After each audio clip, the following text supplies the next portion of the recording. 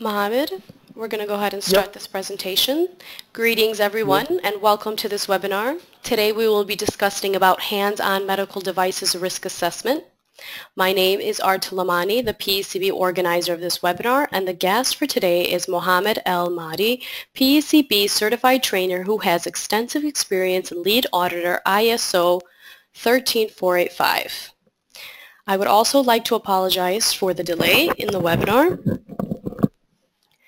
However, please write your questions and comments in the chat box in the right-hand control panel, or you can use the function of a raise hand. We will unmute you and you will have a chance to ask the question directly, and Mohammed will answer to them accordingly at the end of the presentation. Please, Mohammed, you may start the presentation. Hello, everybody. My name is Mohammed Al-Mahdi. Uh, I have about 12 year experience about medical device. I'm now working as an auditor and as well as a technical file reviewer. Uh, so today we will discuss um, medical device risk assessment, a specific topic. We will not go uh, step by step in the standard. However, we will uh, check some point uh, need to be tackled uh, in the standard related to the risk assessment.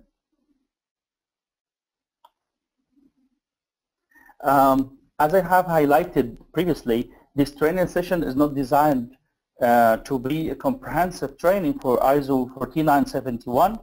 Instead, uh, I will address some issues um, raised during my review of some technical file, uh, raised during my audit for um, clause 7.1 of the standard for the risk assessment. So it will be transferring some of my experience about the risk assessment revision. Let's start, before we, go through the uh, presentation, let's agree uh, some helpful terms uh, and as defined in the 14, um, 14971 standard, like harm, as you, as you all know, it's a physical injury or damage to the health of the people or damage to property or the environment. Hazard is a potential source of harm. Hazardous situation is circumstances in which people, property, or environment are exposed to one or more hazards. Life cycle, which I need to tackle and I need to stress on today, which is all phases in the life of the medical device from birth to death. Uh, from the initial conception, from thinking about the, the medical device itself to the final decommissioning and disposal of the product. Post-production, this part is always uh, been forgotten by uh, most of the user of the uh, risk assessment in the medical device field, which is a post-production experience monitoring, which is tackled by MedDev, uh, as you know, for the which is some, one of the supported documents of the medical device directive. Uh, so the post-production phase as well need to be addressed in the risk assessment. So the definition of post-production is part of the life cycle of the product after the design has been completed and medical device has been manufactured. One important term, which is a residual risk, which is a risk remaining after risk control measure have been taken.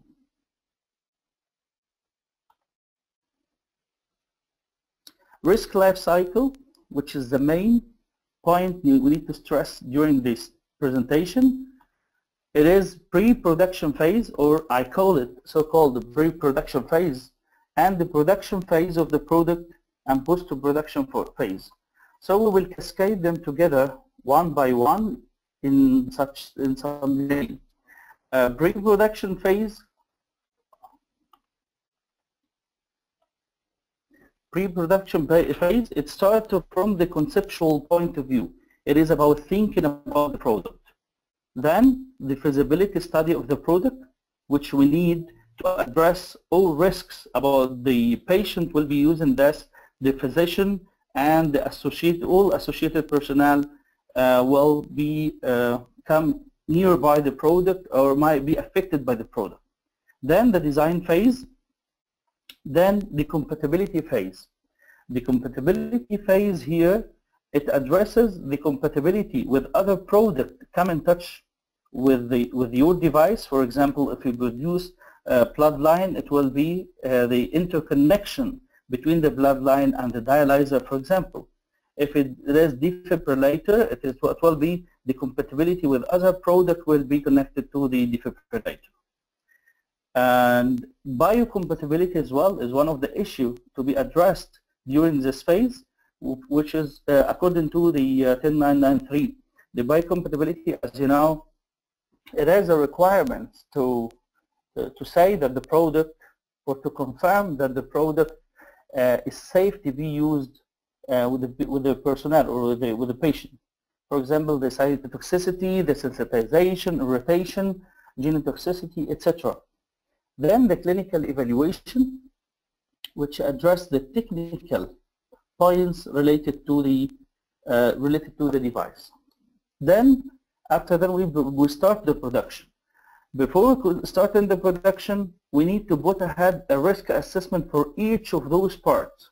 From the conceptual point of view, we have to address in the uh, specified requirements that the risk is one part of the standard uh, of the product itself.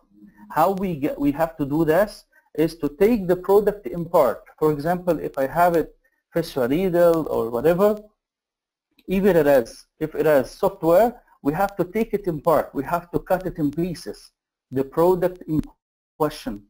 And we take each part, convert the component of the product into a tree, and you take each part of this uh, uh, of this product in order to be assessed according to the uh, the methodology we will be using that we will be addressed, addressing later, like failure model, effect analysis, FTA, etc. In the in the design phase, we have to make something like uh, failure model effect analysis for the design. Uh, then the compatibility, we will address the requirement of 10993-1, which contain a specific requirement about the duration uh, for the product to be used and the, the, the, the risk itself about adhering the product or putting or implanting the product into the body. In the clinical evaluation phase, we will check how others has been affected by other product, similar product in the market. And we will check those and we will make use of them as an, as an input for our risk assessment. Then the product, once we get, come to the production, as you know, the production risk assessment is being addressed by, if we go back to the Deming era, about addressing the main requirement for the, uh, for, uh, which is Plan, Do, Check, Act, which is now being used for all standard like 9001, uh, 13485, uh, 18001, 14001, 22001 even, all of these standard is using the uh, the plan, do, check, act methodology. But if we dig deeper in this, in, in the uh, what uh, Deming said and what the follower of Deming has been highlighted, what is, what's meant by planning, we can address that the planning uh, required by Deming is just an assessment for the risk assessment. Let us talk about this part, for example, if we speak about purchasing for the production. Purchasing requirement is addressing, you need to secure the, the production from the failure to come one day and to find that the raw material warehouse doesn't contain some product to produce, which is considered as a risk. So we have to make risk assessment, which is a production plan. So the purchasing is a planning. The preventive maintenance is, is planning, which is risk assessment to make the, uh, the, production, pro, the production machine working all the time. So there, if we go through the standard, all part of the standard, it's based on the risk assessment. This is why the, the new cycle like BDA, like Malcolm Baldrige cycle, and the radar, radar uh, method for uh, the make and the radar method for the um, uh, model of excellence is addressing the risk assessment as, as initial part of their cycle. So they have converted the plan do check act into assess do check act.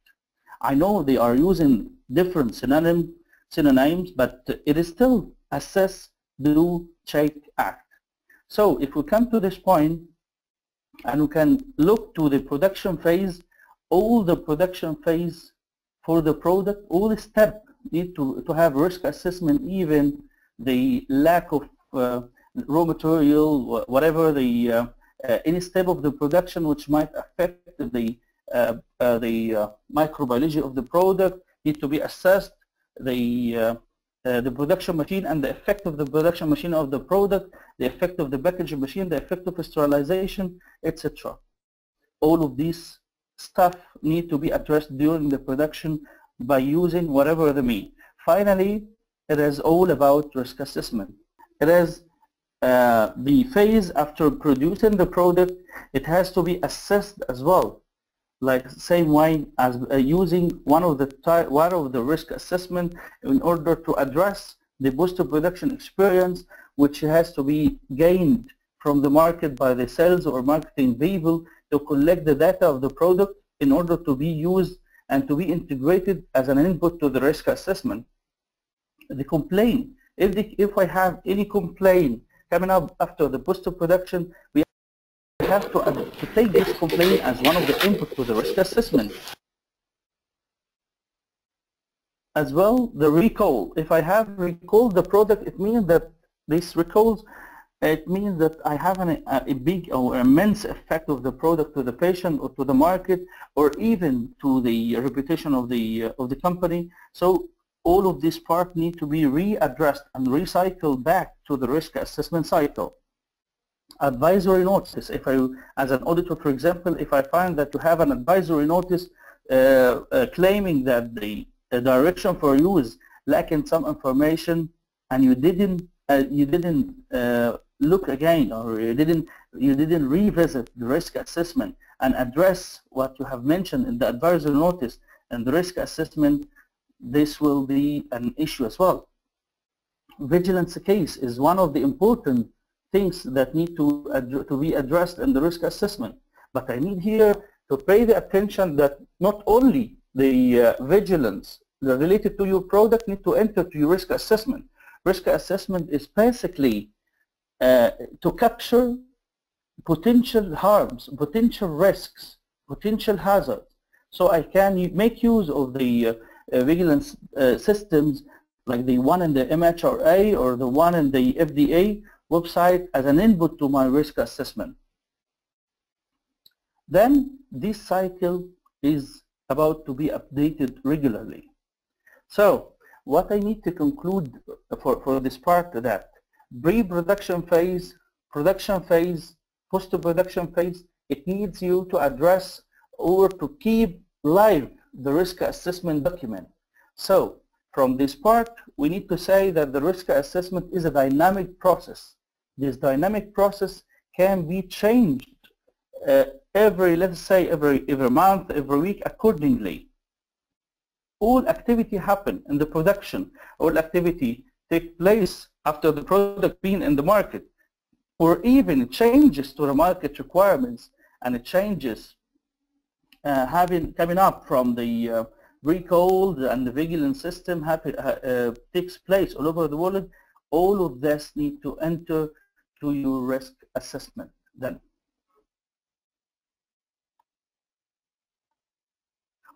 As you know, the risk assessment phases for whatever the risk has to follow the risk assessment structure as being anticipated and detailed and illustrated in the in ISO standard 14971.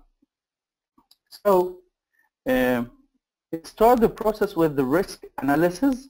Let me stress on the point analysis, what the word analysis mean. From my experience in this, I found that the when any of the regulators speaking about analysis, it means it, you need to cut in pieces the process and you need to check and to address all part cascaded, all cascaded part into subpart, then you will check the risk of this subpart. So let us say that the word analysis means having a big part into small pieces to be to have the risk a comprehensive risk assessment each and then you check the interrelation between those pieces so the risk analysis is deter determining the user needs intended use hazard hazard identification by whatever the methodology then risk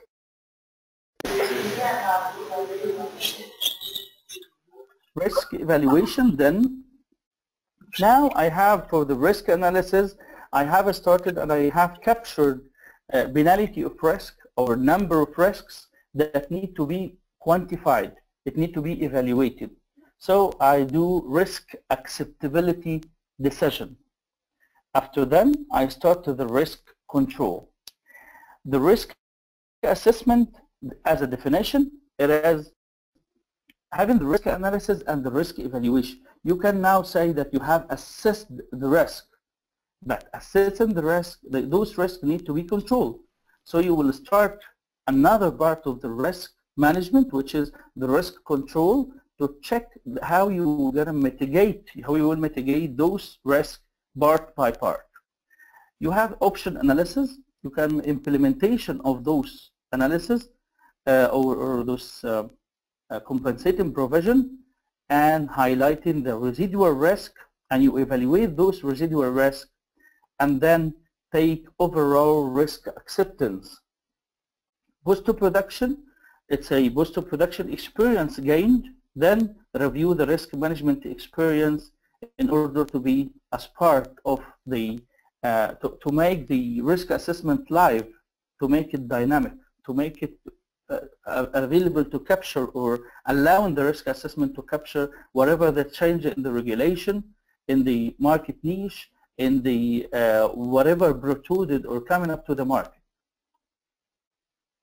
Now, have high-level combination of severity and probability. Most of the people speaking about the, when they come to the risk assessment, they come to the point severity uh, and the probability, or sometimes they call it severity and likely would both the same which is the giving us giving us the uh, the point of uh, how often might be the product might be the risk occur here if you go to the uh, left part it is increasing the probability it is the probability against increasing the severity and the harm or consequences.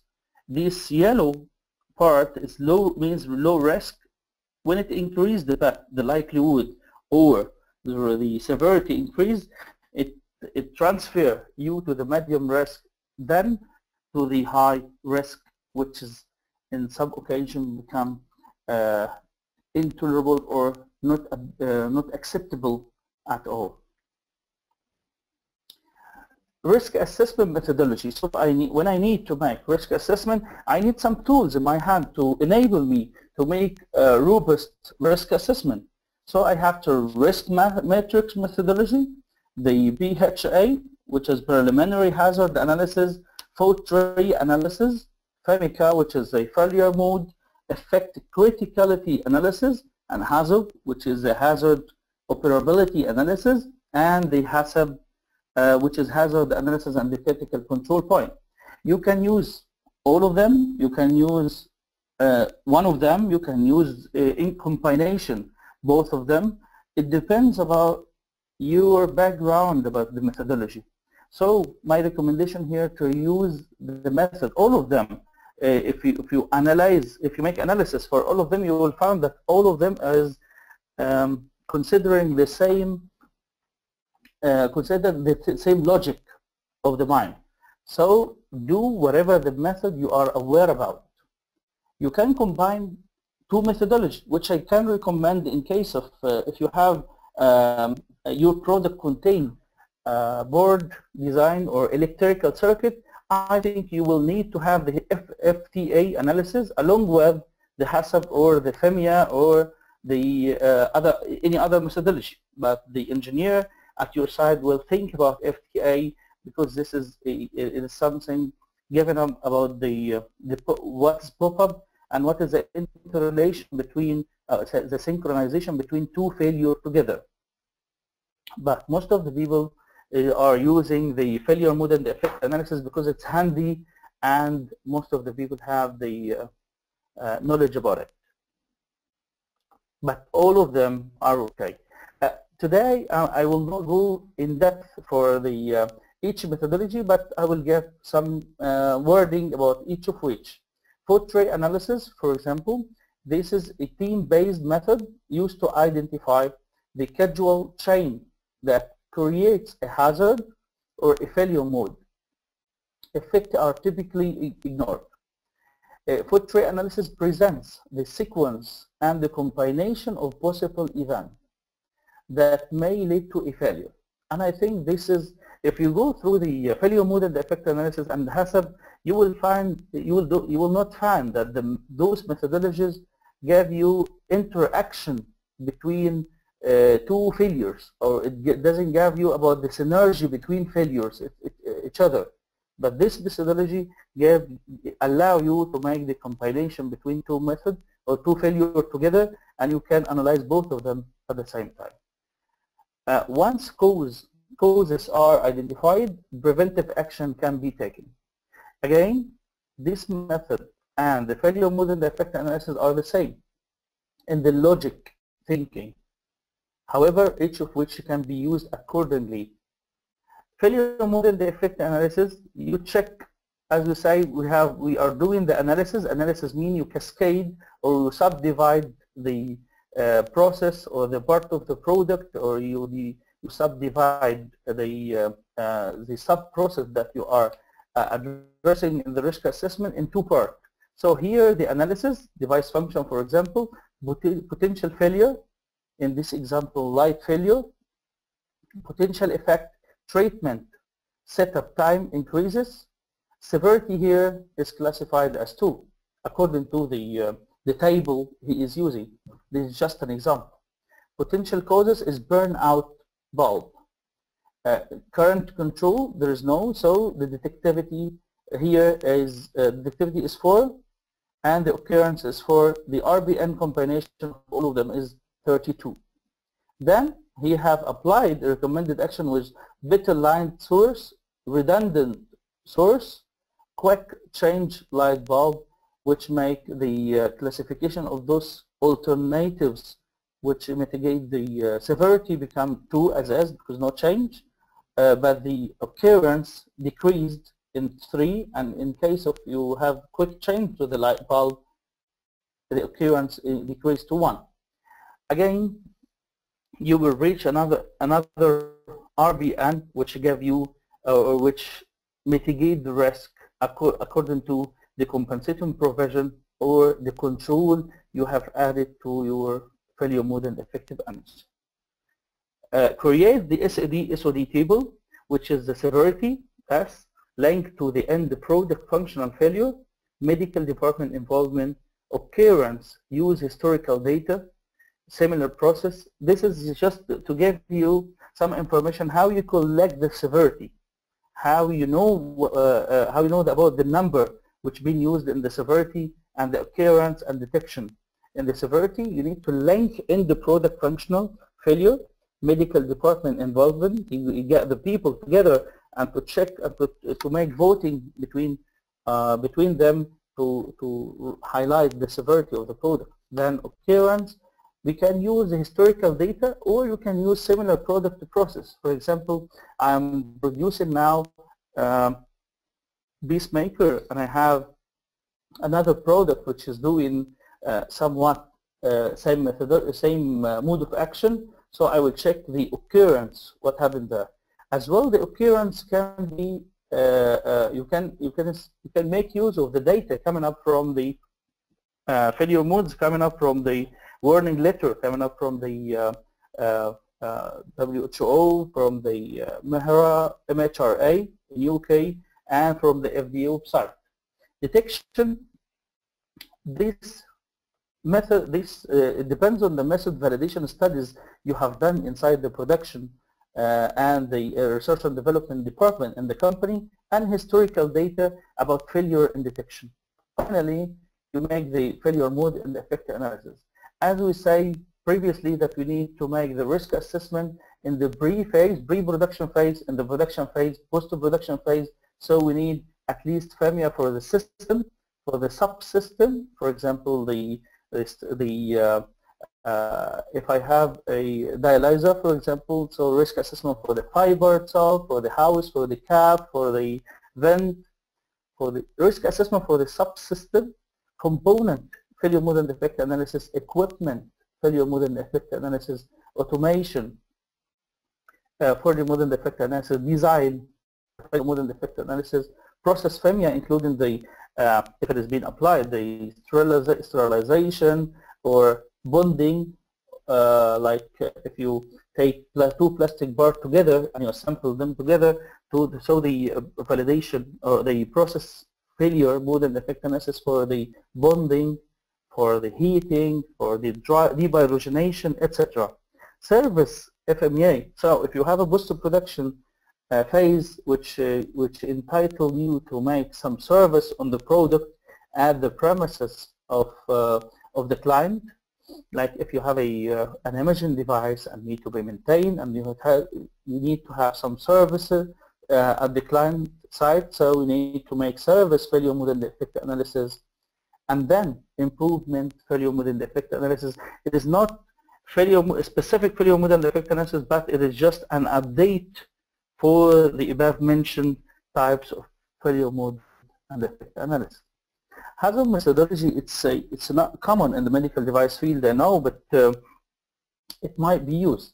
It gave you the choices of if if it doesn't work, if it if it worked erroneously and other than this, what will be happen for the transfer of the product or, the material uh, for the end destination. Hazard methodology, I, from my belief, my personal belief, it is quite difficult to use in the medical device or the product I have addressed in my life. Uh, you might address or make use of the HAZOP, but uh, by discussing this point with some of the friends using the same methodology in uh, other fields like gamma irradiation field and the uh, uh, health and safety field, they say that the hazard is one of the most important part for them. HACCP system, which is widely used in the uh, in the food safety, uh, is being can be used here in, in the medical device field, and uh, for the last decade, even the pharmaceutical uh, pharmaceutical industry start to integrate the HACCP system inside their work. Uh, let me highlight here or put a note that the HACCP system it is not originally for food sector. The food uh, for the FAO for uh, the Food Organization, International Organization, has been taken the HACCP system, which was being used in the in the uh, uh, in the gamma radiation field, in the reactor field, and they make use of it. So HACCP system is not originally for the food sector, it is for the radiology section, uh, for the radiology sector. It's been first used in the radiology, not in the food sector. However, HACCP system uh, can be used, and I, and I have seen uh, thousands of risk assessment relying on the HACCP system, which is quite a, a comprehensive methodology to capture all of the information coming up or all of the hazard uh, coming up during the production or for the product itself or for the clinical use of the product. The hazard system is as per the, the, uh, the definition of the letter, which is hazard analysis and the critical, identifying the critical point and to, to find the critical, sorry, the control which is deemed critical uh, for this hazard.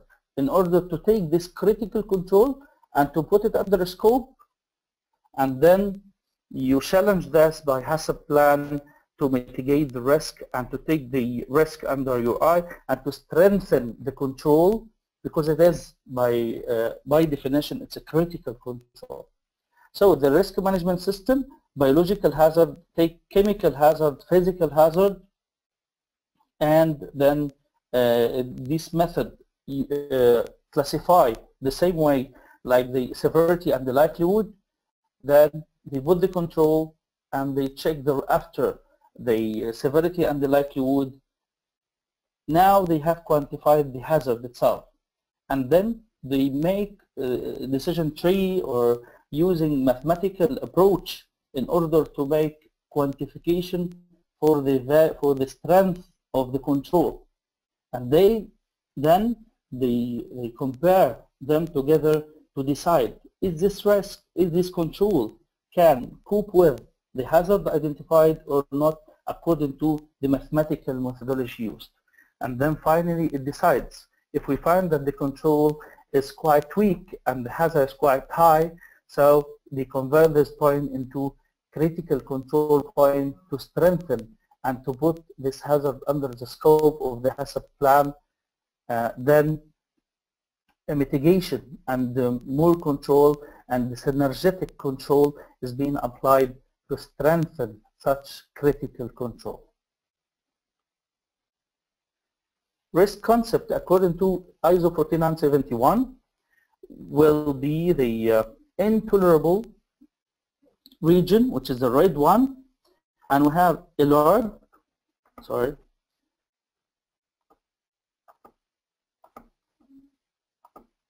and we have ALARP, which we need to discuss this point, because this, point uh, for the ALARP system, or as low as reasonably practicable region, this is quite questionable for the harmonization of 14971 as we will address in our training right now. And the PAR, which is the acceptable region, broadly acceptable region. Putting in mind, this is completely the intolerable, which is not acceptable at all, so we have to have a control. This control has to address all these hazards and has to prevent them or to control or to mitigate them before the product is being launched to the market. And the risk in the bar method, broadly acceptable region, this will uh, might not need any, any mitigation. However, it needs to be addressed by uh, me. ALARP, this part that we will discuss here. What is ALARP against ALARA?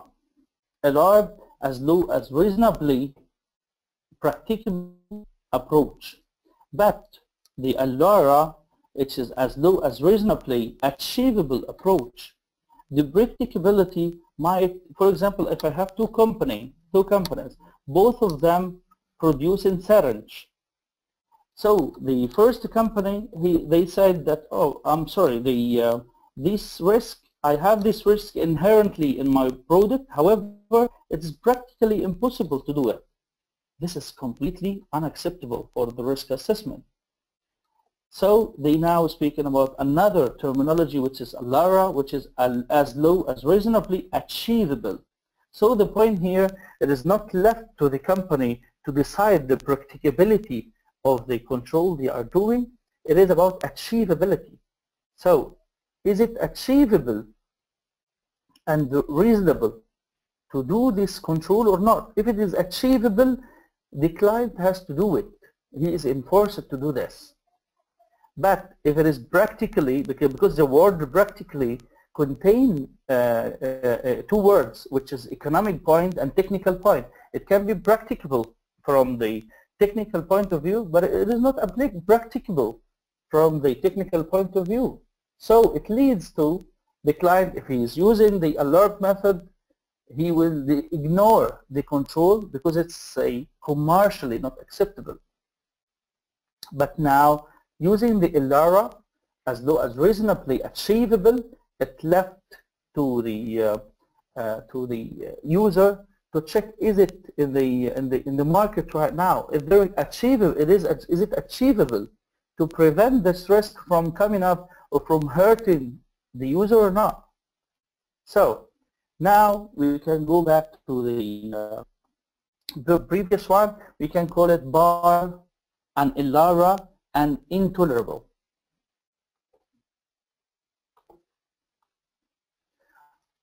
Here, again, for the practicability consideration, it might be thought that any risk associated with a medical device would be acceptable if the patient prognosis were improved.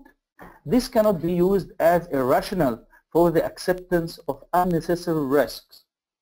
All risks should be reduced to the lowest level practicably, bearing in mind the state of the art and the benefit of accepting the risk and the practicability of the further reduction.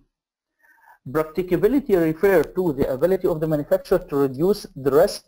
Practicability has two components.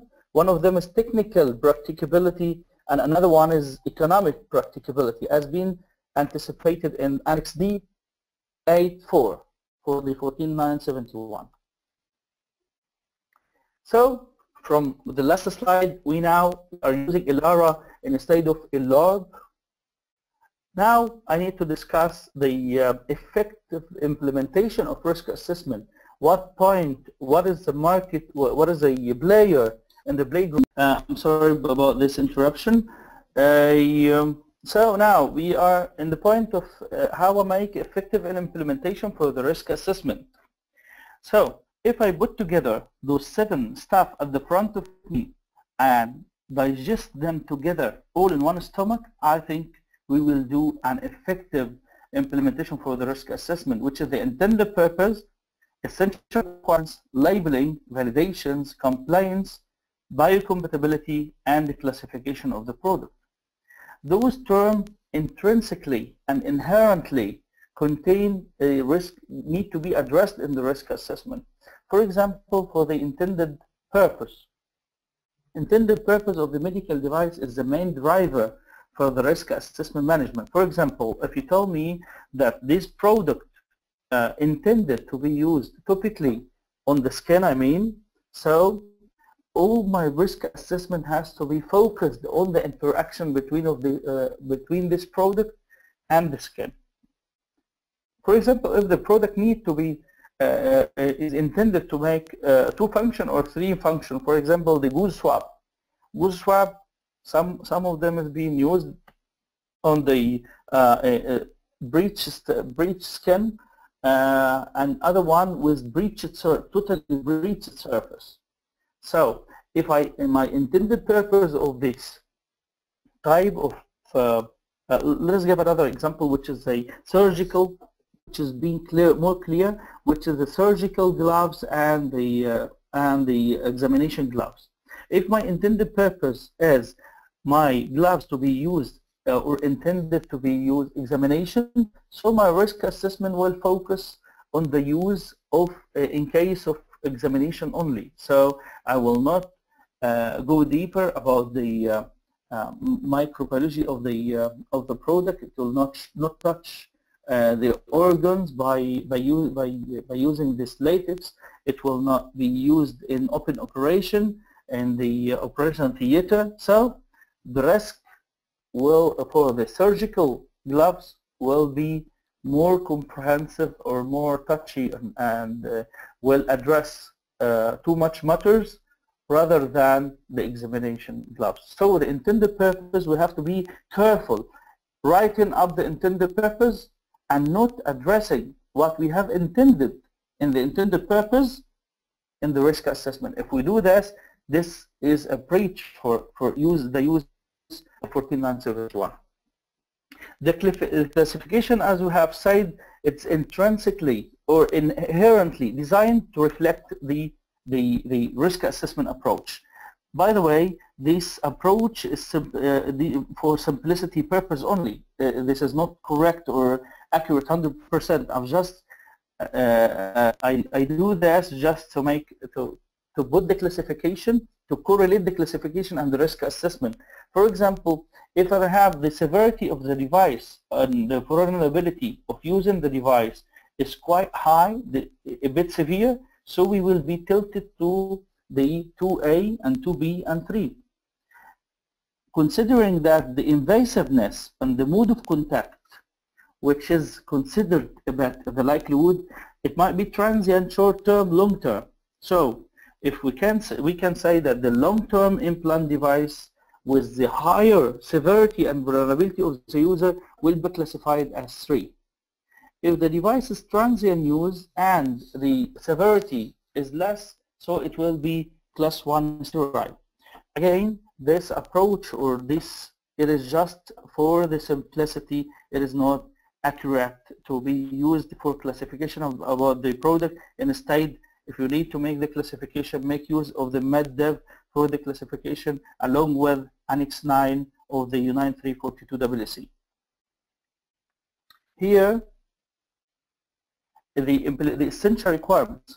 If you go, if you if you have a look to the essential requirement, you will find the word risk is being uh, addressed in most of the of the essential requirements. For example, in one, if you can see, provided that the risk which might be associated with their intended use. So the risk and the intended use. So in this is in the essential requirements, in the first essential statement of the essential requirement, it needs you to make assessment, risk assessment for the intended use and to check the benefit and make risk benefit ratio for the device.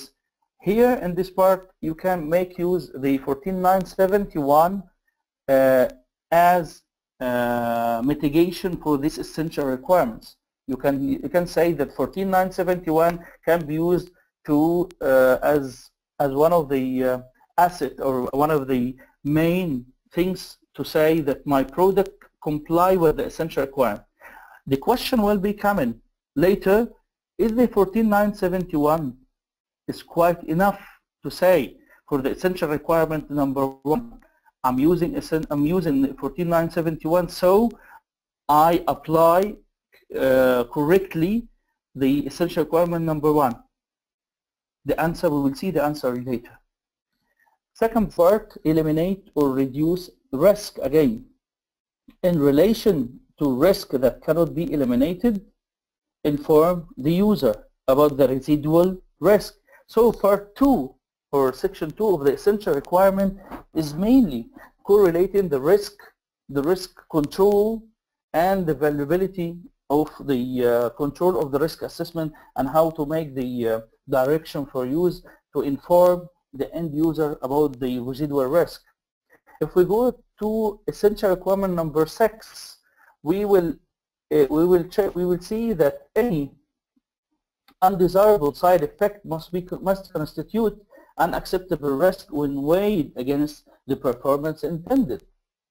So again, we need to make the risk assessment and to, for compliance with essential requirement part 6 to make the risk analysis and to make the control or the mitigation and to make you make uh, uh, weighing between both of them the risk and the control and the benefit of the device. In 7.2 again to minimize it, it requires you to make the design of the manufacturing and the packing process as way as to minimize the risk posed by contaminants. So here, again, it speaks about the risk, it requires risk assessment, but here for the, the process itself. Taking account the intended purpose here, so we now have enter its combination in 7.2, the regulator here need you to, to combine between the intended purpose, the essential requirements, the labeling, and uh, all together in order to, to, to make effective risk assessment. Here in 7.4 various parts in, uh, in addressing risk of incorporating medicinal substances. So if my product contain medicinal substance, so this need to be addressed in the risk assessment. In 7.5, it speak again in the in the red part here, residual risk uh, patient groups Again, it speak about the, uh, the device must be designed manufactured in such a way as to reduce to minimum the risk posed by substance leaking from the device. So leaking stuff need to be addressed in the risk assessment. Again, if the intended use of such device include treatment of a children or pregnant or nursing woman, the manufacturer must provide a specific justification for the use of these substances again according to the risk assessment. 7.6 it spoke about the risk posed by the unintentional ingress of substance. So it required you to check what's been ingressed can be ingressed uh, in, into the device. So the previous one in 7.5, it's, it speak about leaking from and now coming ingressed in in 7.6. Again, in 8.1, as far to reduce as far as possible the risk of infection to the patient, user, and third party. In 8.6, it speaks about to minimize the risk of microbial contamination. Uh, uh, here they are speaking about the non-sterile package. In 9.2, the risk of injury. So the device must be designed and manufactured in such a way as to remove, minimize as far as possible the risk of injury, the risk of the risk connected with reason, um, reasonably foreseeable environmental condition, the risk of reciprocal in interference, the risk arising, uh, arising where maintenance or calibration are not possible. So in 9.3, again, in essential requirements, speak about risk posed by the, unintention, the unintentional ingress uh, of substance into the device, taking into account the device and the nature of the environment. Again, minimize the risk of fire. Then, in, in part in 11.2.1, again, it's, speak, it's speaking about where the device are designed to emit hazardous level of radiation. So the risk of radiation. Here in 11.4.1, it speaks about eliminating the risk inherent in installation of the about the emitting radiation device. Various in, in 12 various type of energy source risk. Number 13, method by which the user is informed about the rest, which is the labeling and the uh, the labeling, which the word labeling contain the direction for use, the unit label, the carton label as well. So from the previous one, what I need you to stress about this point that the essential requirement, which is the main part of the directive, the main requirements of the directive is totally, or we can say that 70% of which is considering or concentrating about the risk assessment. So I can say having a correct risk assessment, uh, it will be, uh, you will, you can defend your essential requirement com, uh, uh, applicability or uh, the compliance with the essential requirement can be fulfilled 70% only by the risk assessment. If you come back to the effective, for the effective implementation with regard to the biocompatibility, 10993-1 is addressing the requirements for the biological evaluation of the medical device. So we'll check each hazard about the contact and uh, uh, about the contact between the patient and device using the matrix uh, detailed and anticipated in the biocompatibility standard, which is as well the biocompatibility bio biocompatibility is being addressed in the essential requirement checklist as well. If we come here to the labeling, complaint, and the vigilance, those three parts are totally interlinked to the risk assessment. How? Here. If we look here, now we have correlated, we know that there is a correlation between the intended purpose and the essential requirement. So any reviewer of the technical file will check the risk assessment. He will have the risk assessment at his, at his hand, so he will consider the correlation between the essential requirement and the risk assessment.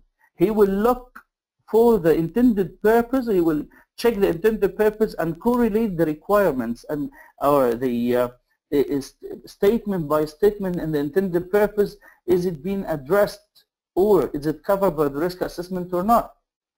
Again, essential requirement, as we said, is about 70% of the the 70% compliance of which is being mainly about the risk assessment. The labeling is mainly an output of the risk assessment.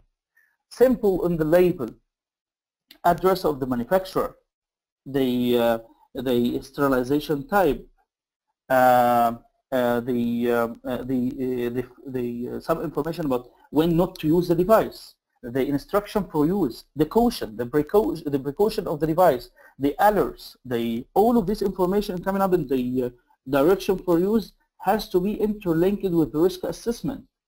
Again, the biocompatibility, as we said, it contain it mainly uh, 10993-1 is mainly about risk assessment for the uh, risk assessment for the device for the compatibility with the living uh, with the people will be who who will be using this. So the risk assessment I need when I when I'm reviewing the risk assessment I have to go to the biocompatibility documentation and check is the risk assessment correlated to the biocompatibility or not. Is the biocompatibility considering the uh, temperature of the extraction and the extract used is considered to be to be correlated with the risk assessment or not. Is the essential requirement addressed all the requirement for the uh, essential requirement addressed or correlated with the risk assessment or not? And again, we said that the classification is inherently uh, a risk assessment for the class of the device. Now I will speak about the labeling and complaint and how it's being correlated. Label, as we said, this is one of the output about the residual risk that cannot be uh, totally uh, uh, mitigated during the risk assessment. So I have to, to inform the user, which is using uh, the labeling. The complaint, as we said previously, the vigilance complaint, etc. This is one of the input to improve your risk assessment. Again, not only your complaint, not only your vigilance system, not only your recall, you will make use about the recalls coming up and the vigilance system anticipated in the uh, uh MHRA website and the one coming up in the FDA website. Now, what is the correlation between the risk assessment and validation? One, once you make the risk assessment, you will come to some part that the, your compensating provision or your control has to be done according to validation. So the risk assessment will require some control. Some of those control need to be validated. So the validation is interlinked or interconnected by the risk assessment.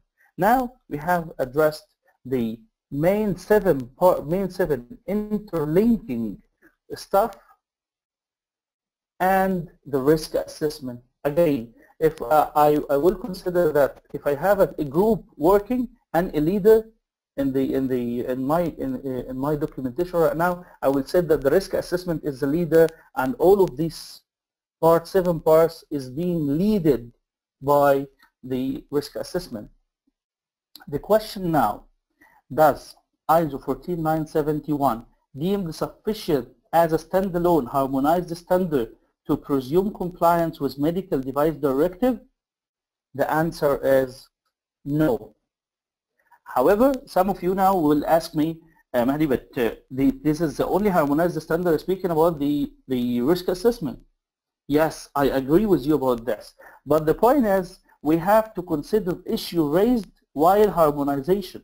If you go to the uh, harmonization section uh, which is I, I, I think it's a annex uh, annex Z uh, in the 14971 it addresses the requirement which uh, prevent the the CEN or the Committee Européen de l'Harmonisation to, to accept the 14971 as full harmonized standard.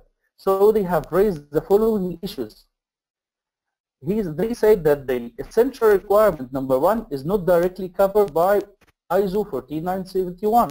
Since the standard does not provide requirement on design and the manufacturing, however, the standard provides a tool to generate the information that is necessary as a preliminary step for the manufacturer to demonstrate that the device is in conformity with essential requirements. So I cannot say that uh, applying 14971 standard only is enough to say that I have done the requirement for uh, essential requirement number one.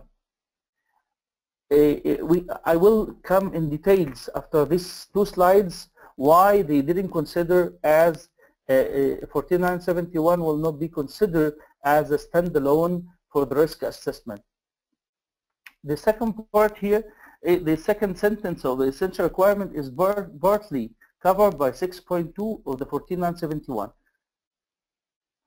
However, we will check together point number one, three, four, six below.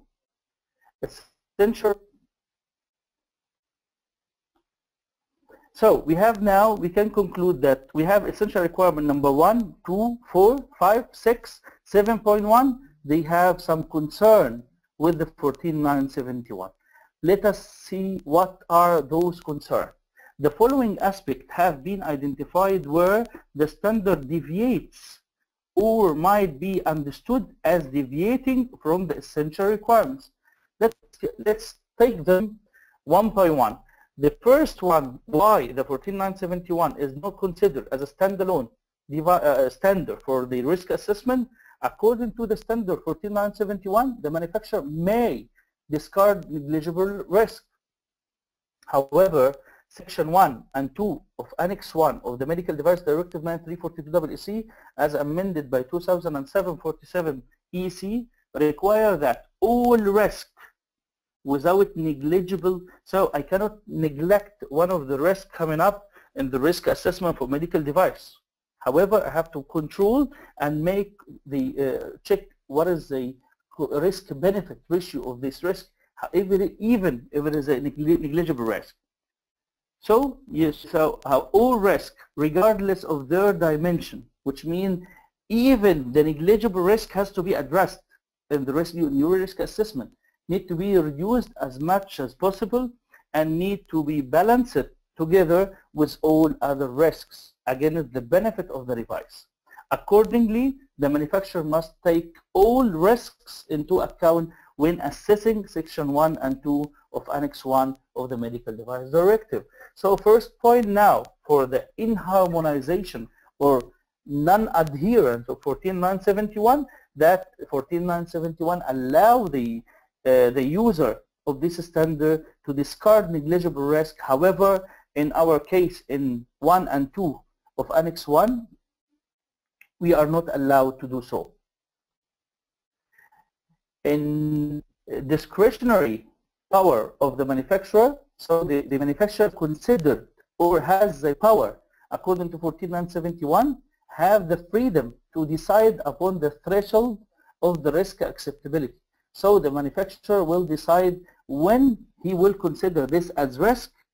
Uh, uh, uh this is the threshold of the risk. So below which, under this point, or under this severity and the likelihood, I might be, I have the freedom, according to 14971, to consider this a negligible or I will not take any action for the compliance. However, Section 1 and 2 of Annex 1 of the directive require that all risk, all risk have to be reduced as far as possible and that risk combined together with all other risk against the benefit of the device. Accordingly, the manufacturer may not apply any criteria of risk acceptability before applying Section 1 and 2. The third point for non-adherence of 14971 is the risk reduction for as far as possible versus as low as reasonably practicable. This is as we have discussed uh, the difference between ALARA and ALARP.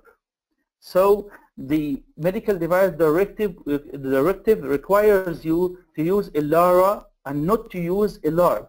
So we will take out any economical consideration uh, or any element of economic consideration uh, from the risk assessment that we are using. However, we only will speak about the uh, ALARA, which is achievability rather than practicability or economic practicability. So we can speak about technical consideration, not economical consideration. However, the first indent of Section 2 of Annex 1 to Directive 9340 and the various particular essential requirements require risk to be reduced as far as possible without there being room for economic consideration.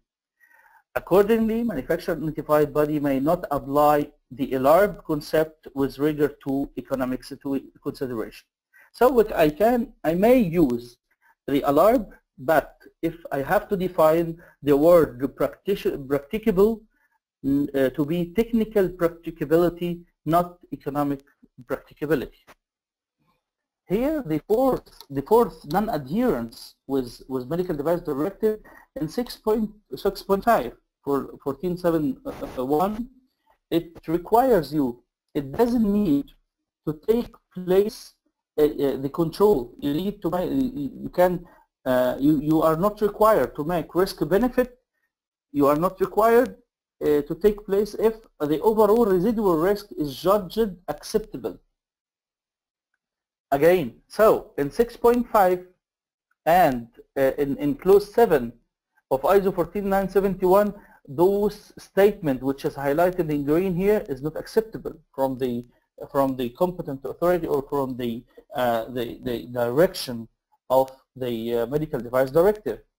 Accordingly to section 1 of annex uh, annex 1 of uh, directive 9342 WSC, and overall risk benefit analysis must take place if in any case regardless of applica application of criteria established in the management plan of the manufacturer.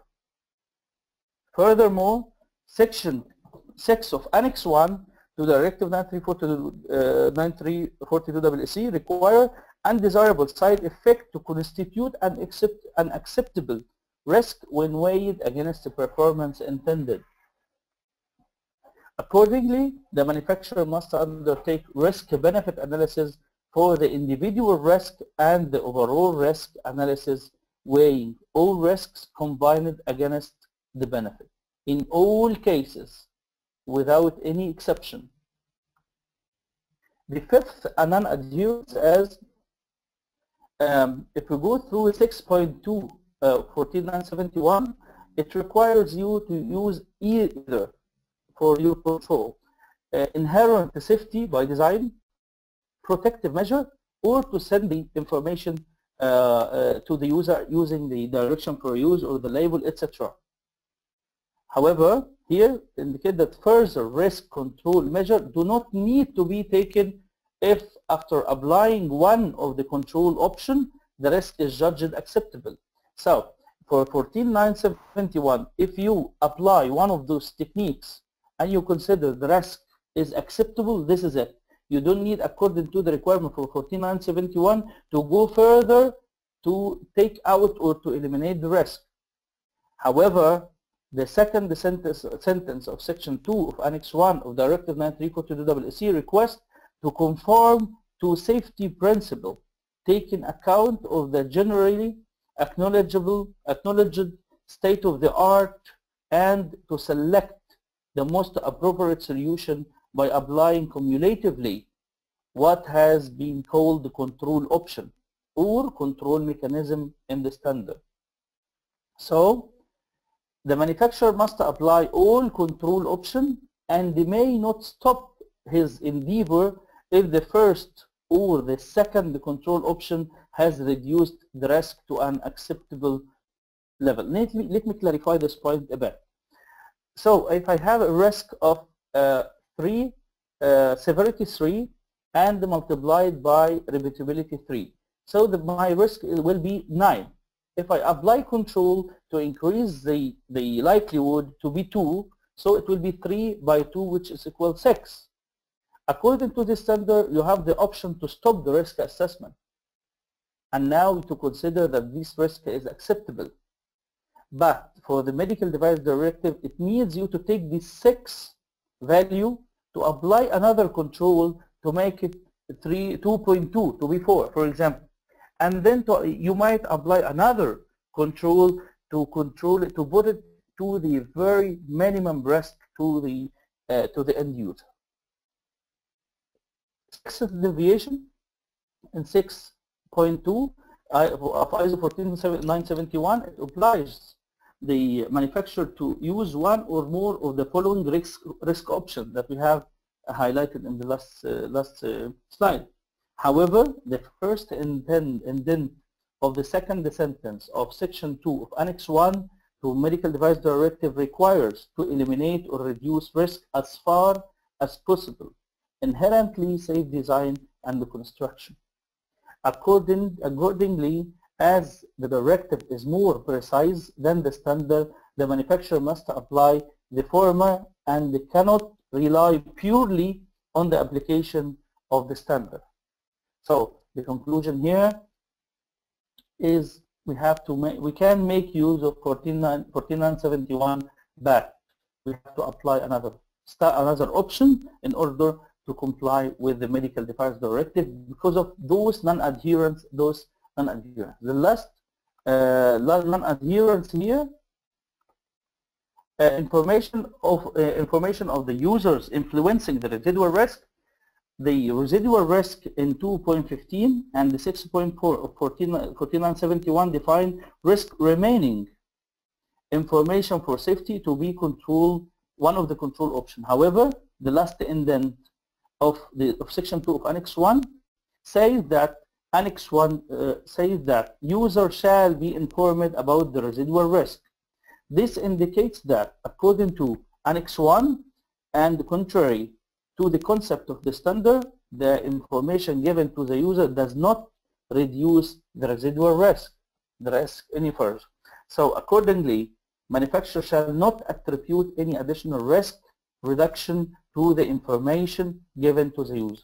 Here, conclusively, you cannot, for example, uh, uh, put to the, uh, if you are producing orthopedic and you send the product to be sterilized by the, by the end user, by the doctor, and before applying this, before implanting this to the user, so you can you cannot make further to make your risk assessment uh, until this point, until I, I, have I have given the information to the user, and it is their responsibility to apply the uh, sterilization according to their needs.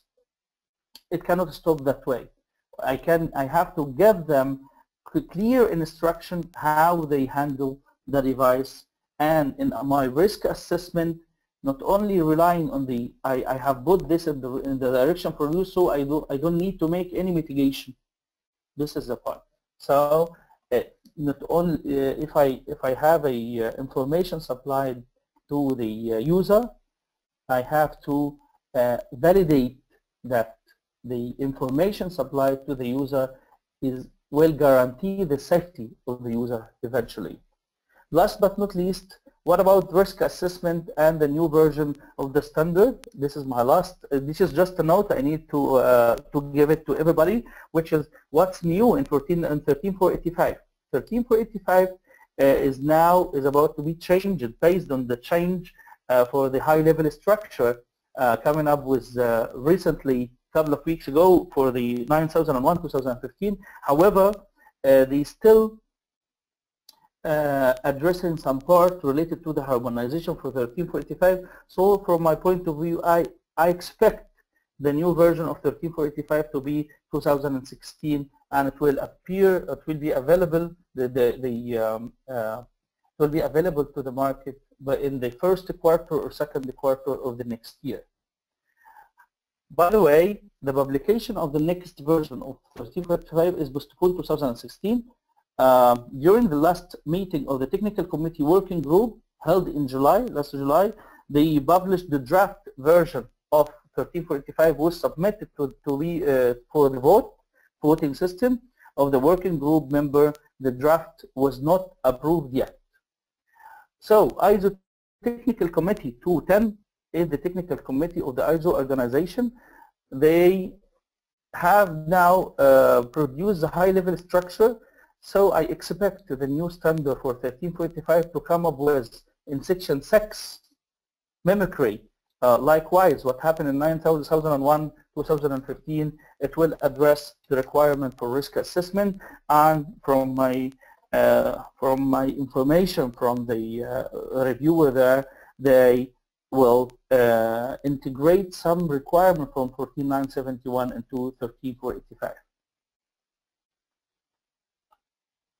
Uh, here, this is uh, you, you can find this in, uh, in BSI group website. It gives you the uh, history and the potential timeline of uh, 2016 version of 13485. Finally, I would like to thank you uh, for being patient. Sorry again for the interruption coming up for the uh, uh, uh, during the training. And I thank you. I will be ready for question if we have time to that. Thank you. Thank you, Mohammed. Again, I want to apologize for the technical issues during the presentation and for any inconveniences. Unfortunately, because of the time limited, we will have to conclude this presentation. You can send your questions through email and we will answer to them individually. Thank you again, Mohammed, for this informative and useful presentation. I want to thank all the attendees as well for taking the time out of your busy schedules to join us. We hope you enjoyed this webinar. Please check PECB's webinar schedule in our website www.pecb.com or our official social media network. Since next week we are organizing webinars on interesting topics. Next Monday we are hosting a webinar on the topic process-based auditing. Thank you everyone. Thank you.